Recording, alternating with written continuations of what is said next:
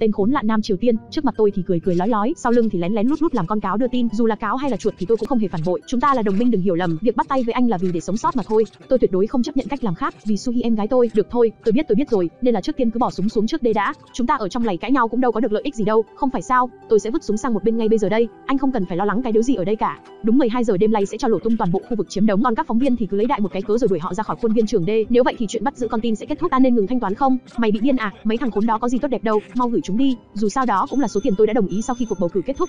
Alo số lô số đề đây, Phó Chính ủy Quốc gia Choi Sujun muốn nói chuyện với ngài. Chấm hỏi Choi Sujun, anh có tin tưởng và chờ đợi Kang trong ra một cách mù quáng không? Nếu cô ta nắm giữ trong tay số tiền khổng lồ đó, cô ta có thể cao chạy xa bay. Anh tin rằng cô ta chịu quay về ký túc xá để bom lầy và cùng chờ chết sao? Kang trông ra là cái đầu biểu rẻ rách ho có gáy gì chứ? Cô ta là Bồ Tát sống à? Đúng vậy anh nói đúng. Thế nhưng sao tôi lại không thể lo lắng nhờ? Nếu trong tay có hàng trăm tỷ won, anh cũng có thể trốn. Công cô ấy sẽ xúi dục Nam TU giết tất cả chúng ta. Nếu đồng chí Kang phát hiện ra có người đang theo dõi mình thì phải làm sao? Việc anh làm dư thế này chính là đang dồn ép đồng chí Kang đấy. Bây giờ đối với tôi, không có cách nào khác, chúng ta chỉ có thể tin tưởng và chờ đợi đồng chí Kang thôi, không còn cách nào khác cả. Chúng ta phải thật sự đặt hết nỗi niềm lòng dạ, mà tin tưởng vào đồng chí Kang hoàn toàn tuyệt đối 100%. Rồi Soho quăng một cái mảnh giấy rẻ rách gì đó, thẳng vào mặt anh trai cảnh sát và đi mất tiêu. Ngay sau khi kết thúc cuộc họp với Choi Mi Hye, nhân viên ngân hàng bây giờ của Thụy Sĩ sẽ đến ngay. Tôi sẽ đến ngân hàng còn việc của cậu là chuyển tiền cho công ty nước ngoài. Ơ cái điều gì vậy? Không phải tôi đã dặn là không được vào dọn dẹp cho đến khi trả phòng sao? Má, mấy cái bà lao công sao mà cần cù bù siêng lăng dữ vậy? Bảo là không làm mà vẫn có ăn rồi, mà vẫn cứ rảnh hán đi dọn dẹp phòng của người ta cho bằng được. Mệt mỏi mấy bà lao công thiệt á chứ. Còn má ló, chắc là cái bà lao công này lại lén lúc lắp mấy cái máy nghe lén gì. Ở đây rồi phải lấy máy dò ra kiểm tra mới được. Má cái máy dò này mới đặt mua trên Shopee hôm qua, không biết dài dư lào nữa đây. Gặp hàng điều hàng China là bố mày vứt ngay. Ê hình như có tín hiệu rồi này mấy má ơi, shop này bán đồ cũng uy tín đấy nhờ. Xài cũng khá là ok là đó mấy má. Úm ba la a là bà chap tìm thấy ló rồi nè. Còn má ló cái bà lao công này tới công chuyện giới tao rồi nha. Bà trốn đâu rồi bà lao công, ra đây cho tôi coi. Tôi đang ở dưới này ha ha ha. Đố chị bắt được tôi, đố chị bắt được tôi luôn đó. Má cái bà lao công này trốn mất tiêu miệng rồi. Soho thì đi qua đi lại rồi lại đi dô thánh đường, còn cái bà răng dô này thì ngồi khóc từ sáng cho tới chiều từ chiều cho tới tối, từ tối cho tới khuya chẳng làm được cái con miệng gì cả. Nghỉ khóc đây bà nội. Nếu em cầu nguyện thì Chúa có nghe được không? Em đừng có ngồi cầu nguyện vô ích nữa. Anh có chuyện gì thế? Không có gì đâu, anh chẳng có chuyện gì cả đâu. Đừng quan tâm tới anh, em cứ tập trung khóc và cầu nguyện tiếp đi. Xin lỗi em vì đã để em phải trải qua những chuyện dư thế này. Nếu như mà giá như em không gặp tôi thì mọi chuyện có lẽ đã khác. Em sẽ không phải trải qua những chuyện đau khổ dư này. Anh Soho đừng có tự trách mình nữa. Anh cũng đâu có làm vậy vì anh muốn đâu. Tất cả mọi thứ là do ý trời. Nếu cả hai chúng ta đều chỉ là những con người bình thường thì sẽ thế nào nhỉ? Không phải là con của quan chức cấp cao nào cả. Gia đình bình thường, cuộc sống bình thường thì chúng ta sẽ là ai trong cuộc đời này đây? Liệu chúng ta có gặp được nhau, có cùng va vào giai điệu này? Nếu là một người bình thường thì có lẽ anh sẽ ở một quán cà phê âm nhạc và hát cho tất cả mọi người nghe. Anh sẽ hát sao? Hát gì hát xèo hay gì dậy ba? Không nha bé, giống như ba mình, anh cũng muốn trở thành một người làm về âm nhạc, ngay cả khi ông bị đuổi đến làng khai thác mỏ than, chỉ với hoa và gió ông ấy cũng có thể sáng tác một bài hát về tình yêu. Anh và Suhi sẽ cùng ngân nga ca khúc đó với bố mình, cho dù là ở nơi lạnh lẽo và cằn cỗi ấy, anh vẫn có thể nở nụ cười chào ngày mới nắng tươi ong nâu là mật nuôi đời. Vậy nên anh cũng muốn gửi đến những người mình yêu mến những bài hát. Đây là cách anh muốn sống và cháy hết mình. Nếu như em nghe thấy anh Soho hát ở quán cà phê, thì mỗi ngày mỗi giờ mỗi phút mỗi giây cho dù mưa dầm thấm lâu, hay tuyết rơi lạnh lẽo cái bóng xà băng bán xà bông, thì em cũng sẽ đến đó nghe không sót một ngày nào. Em muốn được nghe anh Soho hát vang ngân nga những bài hát đó, vang lên những giai điệu tình yêu thật là nên thơ và nồng cháy dịu êm ấm áp như ánh nắng ban mai. Tôi rất tiếc về chuyện của bộ trưởng, người của anh đã lôi kéo gián điệp bên tôi làm chuyện đó. Bộ trưởng bên tôi bị bắn bởi người của cô đấy. Chết tiệt, giờ cô còn dám đổ lỗi cho ai hả? Mẹ kiếp, nửa đêm hôm nay không thể nổ bom chết chúng và các con tin được vì tôi đã ra lệnh giết em gái cậu ta. Cậu ta chắc chắn sẽ hết lòng vì những người có máu mủ với mình nên cậu ta sẽ tự cho nổ tung mình thôi. Nên chúng ta có thể trao đổi 300 triệu đô mà không gặp thêm bất kỳ vấn đề gì. Không phải rất tuyệt vời sao? So với việc nổ bom bên ngoài thì việc bên trong tự nổ bom không phải gọn gàng hơn nhiều sao? Nếu giải quyết thêm một việc thì mọi thứ sẽ hoàn toàn sạch sẽ. Sau đó anh ta đi rồi bệnh viện thăm ông bộ trưởng. Bộ trưởng Un tỉnh lại sẽ làm gì? Chắc chắn hắn biết rõ là đứa Lào bắn mình, rồi có vẻ anh ta đi bóp cổ chết như ông bộ trưởng rồi đây chứ còn đâu nữa. Nhưng mà lúc này có vợ ông bộ trưởng cùng với phóng viên đang ở đây, nên anh ta đều dám manh động, đành phải gọi điện về Magnam TU. Có phone nè ông nội ơi, Mở tivi lên mà xem chuyện gì đang xảy ra đây bạn AI. Do xuất huyết đột ngột và liên tục nên bộ trưởng đã rơi vào trạng thái sốc, nên có thể sẽ gây ảnh hưởng đến tính mạng. Ôi trời thiệt là tình, có lẽ ta không cần phải trực tiếp xử lý bộ trưởng U nữa đâu nhờ, chắc không được rồi, không xong rồi đại vương ơi, vì quốc gia và dân tộc cho dù anh ta có tỉnh hay không thì kệ miệng anh ta, mật khẩu là sinh nhật của mình, nếu có gì sai sót thì tôi sẽ chết trăm ngàn lần đấy biết chưa? Đối tác ABK tên là Linda rằng bố mày biết rồi khỏi nói nên không có chuyện nhầm lẫn đâu nhá. Còn tài khoản công ty và con dấu thì sao? Vì số tiền này rất lớn bằng cách đầu tư vào một công ty nước ngoài, ta có thể gửi được tiền đô ra nước ngoài sau đó công ty sẽ đầu tư lại vào một quỹ tư nhân. Anh nếu cần đi đâu, anh muốn quảng cáo rằng mình đang đi đầu tư cho quỹ đen của bộ an ninh à? Mà tên đại diện công ty là Mick Kim đúng không? Ý nhờ con má ló, vợ tôi đúng thật là amazing good job hết nước chấm luôn. Định hot nữa. Mỗi tuần ta sẽ chuyển 90 triệu đô đi, như vậy thì 71,3 tỷ won sẽ rơi vào tay chúng ta. Cha nội Nam TU đã nói là chuyển tiền càng chậm càng tốt mà, ra xã hội làm ăn bươn trải, nhiều thì ăn nhiều không nhiều thì ăn. Ít, muốn thành công thì phải chấp nhận trải qua đắng cay ngọt bùi, làm ăn muốn kiếm được tiền phải chấp nhận mạo hiểm nguy hiểm một tí, nhưng trong tầm kiểm soát bà hiểu chưa? Ok kiểm tra xong hết rồi và giờ thì đây là giấy chứng nhận quỹ, bà chỉ cần ký tên vào đây là ok la luôn, bà sẽ trở thành thành viên của quỹ đầu tư tư nhân. I know, Zera ở hớ chữ bà đẹp vãi trưởng luôn ý thật là bay bổng, y chang như rồng bay phượng múa lửa luôn ý. Và đây, tuy chỉ là một món quà nhỏ xíu xìu xiu nhưng đây là thứ mà tôi chuẩn bị để bày tỏ sự biết ơn. U là trời, chu choa mà ơi, oh my god, một cái nhẫn kim cương to trả bá lửa luôn. A mấy má ơi, ra xã hội làm ăn bươn trải, nhiều thì ăn nhiều không nhiều thì ăn ít, muốn thành công thì phải chấp nhận trải qua đắng cay ngọt bùi, làm ăn muốn kiếm được tiền phải chấp nhận ok tôi biết rồi, tất cả đều đã xong xuôi, tôi rất vinh dự được phục vụ quý vị như một khách hàng. Ha ha, cuối cùng cũng đã giao dịch xong rồi, đi giao gà thôi, hôm nay nhất định phải uống thật là say cho đến khi quên mất lối về luôn, đến khi mà trời đất quay cuồng say xỉn lên bờ xuống ruộng lên ghe xuống xuồng, xong rồi nhảy nhót múa mai đóng tuồng, thực hiện một pha cắt kéo hai chân bắt chéo rất lắt léo, đi tìm hiểu cấu trúc của gấu trúc, anh em cột trèo rồi lộn mèo, lên xe tao đèo rồi qua đèo, dù nghèo nhưng vẫn bánh bèo, dắt theo con mèo đi ăn bún nước lèo, là tôi đây, mừng Tết đến và lộc đến nhà nhà cánh mai vàng cành đào hôm bé ơi, tôi đã nhận được tiền để chuyển đến phía Bắc rồi. Ok chúc mừng năm ngoái, trong đêm nay cô nhất định phải quay lại đấy. Ok đưa bộ đàm cho Gang Mu Đê. Anh Lê Gang Mu tôi biết rõ lập trường của anh rồi, tâm trạng tôi hơi bắt chích đấy, tôi đã cảnh báo anh rồi. Theo dõi hay giám sát đều kết thúc bằng thứ này Đê Kang Hana. Anh hiểu rõ ý tôi chưa? Từ bây giờ Kang Hana sẽ hỗ trợ tôi. Nếu như bây giờ tôi biến mất đột ngột thì Nam Tê Yêu sẽ nghi ngờ. Để đề phòng trường hợp khẩn cấp tôi sẽ phải đi lấy bằng chứng, để khiến hắn không thể dãy ruộng. Hãy an toàn mà quay trở lại đê tôi sẽ tự lo liệu nên anh đừng bận tâm. Muộn nhất là trước 22 giờ tôi sẽ tìm cách vào anh còn nghe lén nữa cơ à? A hi hi đùa xíu thôi mà, đến giờ anh vẫn chưa tin đồng chí Kang à? Nói thật thì cho đến khi cô ấy xuất hiện trước mặt tôi thì mới tin nha. Bỏ nghĩa bộ đàm hết pin rồi, tôi nghĩ nên đi sạc ló một xíu. Má rốt cuộc là cái bộ đàm quái quỷ đó đang ở đâu chứ? Ý, xa tận chân trời gần ngay trước mắt này. Má, nó dâng đến tận mồm rồi, tìm kiếm làm cái đứa gì nữa? Đúng là ông trời giúp mình rồi, mình sống tốt quá mà, nên ông trời đã có mắt rồi. Họ nói gì dạy ta, thôi cởi dép ra một xíu, đi rồi nghe cho nó rõ hơn. Hôm qua đã bàn rồi mà, chúng ta có thể làm chuyện ấy trong một ngày chứ? Nam Tê Yêu rất quan tâm đến bác sĩ, nên nguồn tin mà Cang trông ra có không thể xem nhẹ được. Hơn cả niềm tin và lý tưởng thì có lẽ tình yêu là quan trọng nhất. Làm thế nếu nào mà lý tưởng và niềm tin lại quan trọng hơn tình yêu chứ? đó là chân lý của cuộc sống. Nếu Kang trông ra thật sự quay trở lại thì chắc phải học hỏi cách sống của cô ấy nhờ.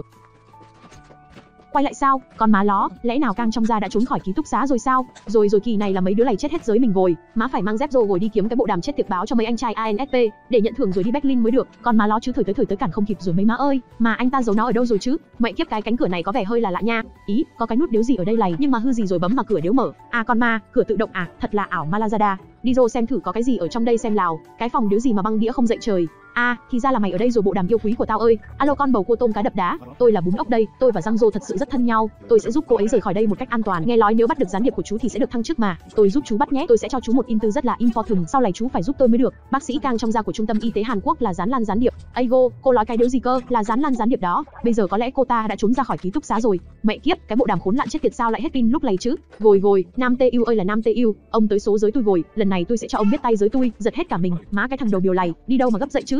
Giờ tôi đang bận rồi không đến được nha. Tôi yêu cầu anh đến đây ngay và luôn nhá. Làm giá làm cả cái điều gì? Tôi đang thực hiện một nhiệm vụ quan trọng liên quan đến danh dự của đất nước. Tôi phải đi ngay bây giờ. Má cái thằng khốn nạn này sao hôm nay chảnh chó dậy ta? Hôm nay nó chảnh chó chảnh mèo lắm ông ơi. Kêu nó đến nói chuyện mà nó không tới luôn á chứ. Còn bề đặt nói là đi giải quyết chuyện liên quan đến danh dự của đất nước nữa chứ. Mẹ kiếp cái thằng đầu điều rẻ rách 5 triệu. Ủa, bà chị bác sĩ kia rồi lấy cái tai nghe ra nghe nhạc một xíu. Má má má, cái chuyện điếu gì đang xảy ra đây? Sao cảnh sát tới đây đông thế kia? Rồi có vẻ tới công chuyện giới bà chị bác sĩ của tôi rồi. Đồng chí bác sĩ lên đồn, mới nhận lệnh xuống từ trên bộ. Đi vào đường dây vây bắt, ở căn biệt thự bên hồ. Tổ công tác giờ đã điều tra ra, lời khai của bún ốc toàn những điều thật nha. Cảnh sát ập vào cùng với rất nhiều ak đồng chí theo dõi đang gọi điện ra đa, nhưng đây không phải truy sát, đây là bắt giữ. Coming with the house squad vừa được cắt cử, lục soát mọi nơi bọn chúng cất giữ. Đi tới tóm hết cộng với bắt đủ, không thiếu một mạng chúng nó còn mày đóng kịch. Lũ tới lũ tới, chạy đê chạy đê. Cho đi bóc vài cuốn lịch, tương lai kia đành đóng cửa. Khi đứng trước vành móng ngựa, nếu mà thả ra là cả phố càng lo, cho nên không thể nào mà cố làm ngơ dù cho là có mấy ông bố làm to, vẫn phải tuân thủ nhập số vào kho. Sau bao nhiêu ngày quan sát khi anh nằm vùng, anh đã cố gắng khuyên em bảo em rằng đừng, em không hề muốn nghe anh từ chối thẳng thừng, và giờ là kết thúc khi em chẳng dừng. Rồi thế là cha nội cảnh sát đã thấy và chui vào lỗ bí mật của bà chị bác sĩ. Con má ló, thời của tao tới rồi mấy cha nội ơi, Nam Tê yêu, mày chết dưới tao rồi. Lần này sao mà thoát được khỏi bàn tay của tao? Trong ra mau lên xe nhanh lên đê, cô còn chờ đợi cái điều gì nữa? Mau nhanh chóng vào đây đê. Đây là lý do tôi đã bảo cậu phải bắt Hana, cho trông ra vào danh sách cấm bay và đặt APB vào cô ta và cả Hana nữa. Con mịa ló nữa chứ phải kiếm mấy cái tấm ảnh làm bằng chứng mới được. Sếp AI, tôi tìm thấy cái album điếu gì này,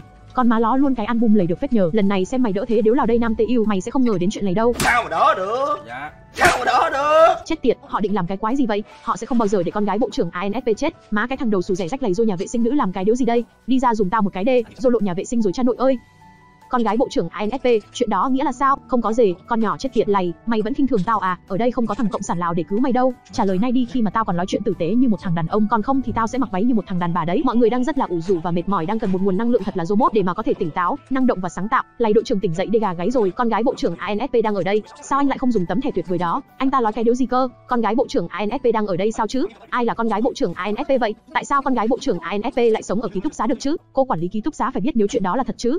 Aigo, nhắc Tào Tháo thì Tào lao đến. Ủa, có chuyện gì đang xảy ra dậy mọi người? Sao lại nhìn em dữ dậy?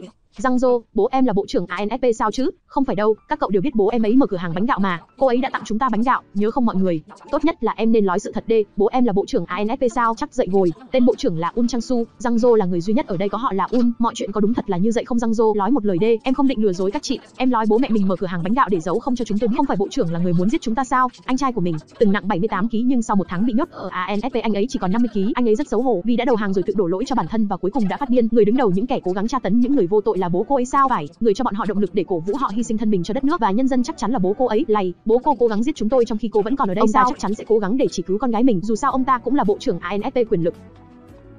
Un Giang Dô, cô không được phép bước vào phòng của chúng tôi nữa, mọi người đi thôi lào. Và thế là tất cả mọi người đều quay lưng đi bỏ mặc Giang Dô, không một ai ngay lúc này có thể hiểu được cảm giác của Giang Dô cả. Anh trai thì chết trong trận chiến, bố thì bị bắn nằm viện, còn những bạn bè, chị em của mình thì quay lưng với mình trong lúc mà mình đang trong giai đoạn khó khăn nhất trong cuộc đời. Những chị em mà đã từng cùng nhau vui vẻ trò chuyện gắn kết thân mật, như người một nhà lại không hiểu được mình, ra đi ngay lúc mà mình cần nhất họ ở bên để chia sẻ tâm tư, phiền muộn ở trong lòng giải bày những nút thắt ở trong con tim. Giờ đây thì những chị em thân thiết nhất với mình thì cũng đã rời xa mình rồi, thì không biết trong lòng răng rô sẽ tan nát đến mức nào nữa đây. Tại sao cuộc đời của tôi lại trải qua những thứ đau khổ như thế này? Má chắc phải ăn thịt cầy rồi đây. Em ổn chứ? Đúng là em đã giấu kín chuyện em là con gái bộ trưởng ANSP và sự thật là bố em đã làm ra những chuyện tồi tệ. Họ chỉ đang lo lắng vì những gì họ vừa trải qua thôi. Một ngày nào đó họ sẽ hiểu cho em thôi. Rồi răng rô đi ra ngoài mất tiêu, Soho đi vào thì con nai vàng ngơ ngác, đạp trên lá vàng khô nếu hiểu chuyện gì đang xảy ra. Hello, vừa xảy ra cái chuyện điếu gì dậy mọi người ơi? Rồi Soho mở cửa đi ra ngoài nhìn theo phía sau bóng răng rô đang khuất ra dần phía chân trời, vẻ mặt thì trong rừng như đã hiểu được chuyện gì đang xảy ra với răng rô rồi, còn răng rô thì đã chạy lên tới phòng trên sân thượng và Soho thì cũng đã đuổi kịp theo phía sau răng rô rồi. Đứng phía sau cô ấy thì lại nhìn thấy cái bà nội răng rô này lại lấm lem hàng mi, rớt xuống lăng dài trên hàng má, khóc nhòe ướt đẫm đôi bờ môi trái tim,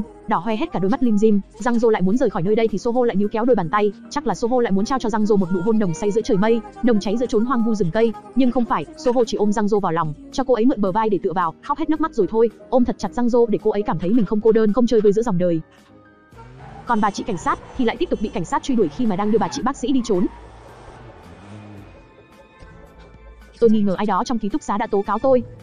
Sau đó cô đã đến giúp tôi, cô đang cố gắng làm cái điều gì vậy? U là trời, nghe lầy bà chị bác sĩ, cô phải quay trở lại ký túc xá để cứu anh yêu gang mu của tôi. Tại sao tôi lại phải tố cáo cô? Phía Bắc nói sẽ giết em gái của Soho nếu cậu ấy không cho nổ các con tin trước nửa đêm, vì vậy cô phải quay trở vào đó. Cô phải làm theo những gì tôi nói. Tôi cảnh cáo cô đừng theo dõi nữa tôi mệt rồi. Úi sời. cô không bị bắt đúng không? Rồi sau đó bà chị bác sĩ quan sát bà chị cảnh sát sơ hở, đấm ngất bà chị cảnh sát rồi chuồng đi miệng luôn. Con má ló, sao cái nhẫn kim cương lầy đeo trên tay mình ló lại hợp đến lạ thường thế nhở? Trong thật là sang xịn mịn, mối quan hệ giữa em và trông ra là gì? Trông ra là đứa Lào, là bác sĩ của Nam tây yêu đấy. Cô ta có ảnh của em, đừng ngạc nhiên nhá. Hóa ra cô ta lại là gián điệp của Bắc Hàn. U là trời đất mẹ ơi, ngạc nhiên thật đấy. Em thật sự không có gì với cô ta chứ? Cô ta thậm chí theo dõi cả em và anh theo dõi sao chứ? Thì em có chơi mặt trược với cô ta vài lần thôi. Nhân tiện thì ngài nam của chúng ta đang gặp rắc rối, hãy chăm sóc cho anh ấy được không mình? Hãy đối xử với anh ấy thật tốt nhé. Thôi cúp máy đê, có chuyện gì đấy? Anh ấy gặp rắc rối à? Có chuyện gì xảy ra với chồng tôi sao? Là về bác sĩ Cang thôi, bác sĩ của ngài nam. Hóa ra cô ta là gián điệp Bắc Hàn, cái đéo gì cơ? Gián điệp Bắc Hàn chấm hỏi thì tôi đã nói với bà rồi mà, rằng bà không nên để một người phụ nữ trẻ đẹp như vậy bên cạnh chồng mình, họ còn khá thân mật nữa đấy, khá thân mật sao? Con má ló, tao xỉu đây. Mấy đứa ơi, qua đỡ bà ta dậy kìa. Em yêu ơi, sao em lại mở cửa chính dư lầy? Tên khốn nạn, anh đang làm cái đứa gì ở đây thế? Bốp bốp bốp bốp bốp bốp bốp. Má ló, mày ăn trúng cái đứa gì mà bữa nay dám đánh tao luôn? Con nhỏ trực phone ở ký túc xá đã nói cho tôi rằng Kang Trông Gia là gián điệp Bắc Hàn. Kang Trông Gia tên thật là Kanemoto Jiko. Việc cô ta là một người Nhật gốc Hàn đã đủ kết luận cô ta là gián điệp, nhưng cô ta khá tốt bụng khi đã để lại rất nhiều bằng chứng cho chúng ta. Đội trưởng An à, hẳn là có gì đó hiểu lầm ở đây. Cô ấy và tôi chẳng có gì hết ngoài một bác sĩ và bệnh nhân. Cô bác sĩ xinh đẹp và anh bệnh nhân may mắn hả? Sao ngày nam lại giữ bí mật nhất? Nữ gián điệp xinh đẹp đã dụ dỗ anh ta tham gia phe mình. Thứ hai vì nếu gián điệp nóng bỏng đã thuyết phục được anh ta. Thứ ba vì anh ta đã chót lỡ yêu nữ gián điệp. Tên khốn, mày biết bố mày là ai không? Bố mày là tổng thống đấy. Được rồi mấy anh em, cầm đầu thằng cha nội tổng thống này rồi đồn cho tôi. Mày còn lắm mồm à? Bắn chết miệng mày bây giờ. Tôi có nên làm như anh từng làm không nhỉ? Hay là tôi bắn chết miệng anh tại đây và đổ tội cho gián điệp Kang trông ra nhờ? Như anh đã làm với Un Chang Su. Tôi không có lựa chọn nào khác, mọi chuyện xảy ra quá nhanh. Tôi nghĩ cô ta đã chạy thoát miệng rồi. Được rồi, em đã cứu một gián điệp Bắc Hàn. Bố mẹ gia đình họ hàng chú bác tự hào về em. Và giờ thì em trốn đi đâu đó đê. Yên tâm, không ai cứu được em đâu. Đồng chí Dô à, đồng chí Kang đã ra ngoài để chặn số tiền bọn họ sẽ gửi cho Bắc Hàn và ANSP đã phát hiện ra cô ấy. Cô ấy là một trong những người của Lim Ji Dốc. Cho dù tôi có nói với ông ấy chuyện này, ông ấy cũng sẽ cố gắng che giấu sự phản bội của đồng chí Kang. Cô ấy ra ngoài để cứu mọi người khi mà đất nước bỏ rơi chúng ta. Với số tiền đó, ta sẽ có cơ hội đảm đàm phán với Lim Ji Dốc. Cấp trên của cậu chắc hẳn là đối thủ của Lim Ji Dốc. Ta phải báo cho người đó chuyện này. Ha ha ha ha ha. Cậu muốn lấy cái đầu xếp tôi khi mà cậu đang bị kẻ địch vây quanh ư? Lim Ji Dốc đã nói với tôi, nếu chúng ta không tự cho nổ bản thân trước nửa đêm, ông ta sẽ giết em gái tôi. Tôi sẽ không để ông ta làm được điều đó đâu đấy đừng đùa. Chắc có một ông bố quyền lực rất là sung sướng nhỉ. Cậu có chắc chắn là giết được ông ta không hả trời? Gốc cha à, phía tôi là một người công nhân khai thác than ở tỉnh Bắc Giang. Ý lộn Bắc Ham Rong và máy hầm mỏ bị sụp đã chôn vùi ông ấy. Tôi đấu tranh cho đất nước và người dân chứ không phải cho những kẻ coi mạng sống điệp viên của mình như có thể đem ra trao đổi. Lim Di Dốc đã dồn ta vào chân giường sơn tường ôm tivi. Ta phải xử đẹp ông ta trước để mà tìm đường sống. Tôi chắc chắn rằng cấp trên của cậu sẽ đồng ý với bất kỳ phương án nào. Mà để kéo được Lim Di Dốc xuống, được rồi hãy cởi trói cho tôi đây là người anh em bán kem trộn kem sầu riêng ốc quế. Rồi sau đó đồng chí Joe bắt đầu gửi mail cho sếp để thông báo về cái sự việc này. Mozan Hugh một đã lấy được tiền mà Nam Hàn định gửi cho chúng ta và ANFP đã phát hiện cô ta đang trông ra không phản bội sao? Như thể con trai ông là chưa đủ, cả Kang cũng phá hủy kế hoạch của chúng ta. Nếu ta không thể có được số tiền đó, tất cả là tại MC không, là tại ông đó. Má con đĩ khốn nạn đó, băm vằm cô ta thành trăm mảnh cũng không đủ hả giận. Sao cô ta dám lừa dối tôi và dụ dỗ chồng tôi chứ? Tôi chắc chắn là anh ấy không biết, ngay cả tôi cũng bị lừa từ đầu chí cuối. Má cái thằng cha nội tiên tri lừa đảo khốn nạn đó, hắn ta chắc chắn là một tên lăng băm. Anh ta đã bảo tôi nên để cô ta cạnh chồng tôi như một lá bùa hộ mệnh. Tại sao bà lại đổ lỗi cho ông thầy bói? Ông ta đoán khá chuẩn ấy chứ. Tôi thấy gì đó không ổn rồi. Khi ông ta nói với bà Hồng chắc chắn 13 người phải chết, khi mà ông ta đang bất tỉnh thì làm thế điếu lào, mà có thể trở thành tổng thống được chứ? Má lo thấy chưa? Điện thoại còn nếu gọi được nữa này. Má chắc là bà bấm lộn số rồi đó. Cái này phải để tôi thuê bao quý khách vừa gọi tạm thời không liên lạc được. Ơ kìa, cái điếu gì thế này? Có khi nào có khi nào ta đã bị lừa? Con sen ơi, con sen mày đi đâu rồi ra đây cho tao coi, gọi ngay qua bên Hồng Kông hỏi số phone của con nhỏ Linda ở bên New York cho tao coi, ngay bây giờ. Em có sai với ai đi nữa em có làm cái gì đi nữa, nếu có phải trả giá em cũng xin chấp nhận ra xã hội làm ăn buôn trải liều thì bị lừa. Sao thế? Sao họ lại cúp máy? Tao thậm chí đã ký giấy chứng nhận cho quỹ, chuyện điếu gì thế này? Mày nói gì? Cô ấy chưa bao giờ tới đây sao? Cô ấy còn tặng tao viên kim cương 5k ra lầy mà. Ôi chúa ơi, 5k ra sao? Chúng ta có thể dễ dàng biết nó có phải thật không bằng cách xem hơi nước ngưng tụ đưa đây để tôi xem lào. Ha ha ha ha ha. Ha ha ha ha ha, nó là giả má ơi, nó chỉ là một cục nhựa trên Shopee thôi má ơi. U là trời đất thánh thần thiên địa ơi, sao lại như vậy được? Má ló cái con quỷ liễu Linda này, phải đi kiếm ông thầy bói mới được. Ơ kìa, cái thằng cha thầy bói dọn đồ đi đâu mất rồi? Con má ló, mình bị lừa thật rồi sao mọi người ơi? Má cái thằng khốn nạn chó đẻ, cẩu cha hồn trương ba ra hàng thịt. Gang mua tôi là Um Chang Su. Ủa gì vậy? Ông ta chưa vô hòm nằm nữa à? Tôi nghe nói ông đang trong tình trạng nguy kịch lại là tin giả sao? Lim Soho có đang ở đó không? Má hỏi điếu trả lời. Ông ta kiếm anh này anh bạn. Ông muốn cái điếu gì đây? Tôi muốn giúp cậu thui. Nếu cậu thả tất cả con tin bao gồm cả con gái tôi, tôi sẽ chuẩn bị một chiếc xe hơi đợi sẵn ở núi Ogong để cậu trốn thoát. Tôi sẽ làm mọi thứ trong khả năng của mình để các cậu có thể chạy trốn đến một quốc gia khác một cách an toàn. Sau khi mọi người ra ngoài, tôi sẽ cho nổ tung ký túc xá và nói với báo chí là các điệp viên đã tự nổ tung, cậu đã chết và em gái cậu sẽ an toàn. Ông sẽ đảm bảo sự an toàn của các sinh viên sao? Tôi sẽ cho livestream và để tụi nhỏ trở về với cha mẹ của chúng trong khuôn viên trường. Ông định nói với báo chí rằng đây là một phần của kế hoạch bầu cử sao? Điều đó sẽ không cứu được em gái của Soho ở phía Bắc. Tôi cần phải nắm quyền để đến một quốc gia khác một cách an toàn. Má có vẻ cũng ok đấy người anh em. Ok luôn nha, tôi sẽ cân nhắc chuyện này cho thiệt là kỹ lưỡng. Ông ấy chắc đã biết Nam Tê Yêu là người đã ra lệnh bắn mình, nhưng sao ông ta lại dễ dàng từ bỏ quyền lực dư thế này? Đúng vậy, hiện tại đảng cầm quyền đang chiến thắng, ông ấy không thể từ bỏ. Nếu nó được phát sóng trực tiếp và các bậc phụ huynh đều theo dõi, các học sinh sẽ được an toàn. Nhưng cậu cũng được lệnh giết con tin, nếu nó được truyền hình trực tiếp, miền Bắc cũng sẽ xem nó, liệu sẽ ổn chứ? Tôi vẫn có một cảm giác không ổn về chuyện này. Họ có thể đặt một cái bẫy để cứu Giang Dô. Nếu bố tôi chỉ định giải cứu tôi thì có một cách để ngăn chuyện đó. Hãy để tôi nói chuyện với bố tôi. Sau khi tất cả các con tin đã được thả, con sẽ lên xe với Soho, cho đến khi anh ấy ra khỏi đất nước này một cách an toàn. Con sẽ ở bên cạnh anh ấy. Con không thể tin bố được sao? Bố sẽ làm mọi thứ trong khả năng của mình để cứu sống Soho. Con sorry bố, nhưng con muốn thấy Soho rời khỏi đất nước này một cách an toàn mới được. Hù hụt hù hụt. Ok con yêu, được rồi bố hiểu rồi, lên xe với cậu ta đi, bố sẽ để cho con tận mắt thấy cậu ta rời đi an toàn. Tất cả chúng ta sẽ có thể sống sót rời khỏi đây phải không? Em nghĩ rằng bố em có thể làm điều gì đó để bù đắp, dù chỉ một chút cho những việc ông ấy đã gây ra với bạn bè của em. Anh đã suy nghĩ rất nhiều, sẽ thật nguy hiểm nếu em ở lại cùng anh, nhưng mà cũng sẽ thật lonely khi mà hai ta phải cách xa nhau, sẽ thật là đớn đau cào cào xé xé. Số hộ quả, em sẽ ở bên cạnh anh cho đến cuối cùng, ta sẽ mãi ở bên cạnh nhau đến khi tương phùng, cùng nhau đi đến tận cùng, thổi bay nguyên cái ký túc xá đó ngay lập tức cho tôi. Ok tập 14 kết thúc ở đây, liệu Soho và Giang Dô cùng tất cả mọi người sẽ được thả ra an toàn, hay họ sẽ bị thổi bay rồi lên bàn thờ nằm cùng ông bà theo như lời ông bộ trưởng Un Chang Su nói, hãy cùng đón chờ tập 15 nhé.